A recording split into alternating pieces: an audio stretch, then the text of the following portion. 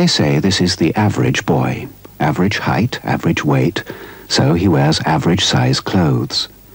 His shirt doesn't fit exactly, but it's near enough, isn't it? His blazer's a bit on the long side, but he'll grow into it. And if his trousers are a little loose, you can always buy him a belt. His shoes are average size too. They squeeze a bit. He has a corn, and he could be well on the way to calluses and bunions. This is why at Clarks we make children's shoes in half sizes and different widths with up to three months growing room. In our book, there is no such thing as an average child.